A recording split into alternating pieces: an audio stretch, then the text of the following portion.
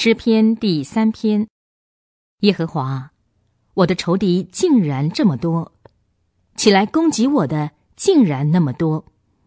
有很多人议论我说，他从神那里得不到救助。耶和华，你却是我周围的盾牌，是我的荣耀，是使我抬起头来的。我发声向耶和华呼求的时候，他就从他的圣山上回答我。我躺下，我睡觉，我醒来，都因耶和华在扶持着我。虽有千万人包围攻击我，我也不怕。耶和华，求你起来，我的神啊，求你拯救我。你击打了我所有仇敌的脸颊，打碎了恶人的牙齿。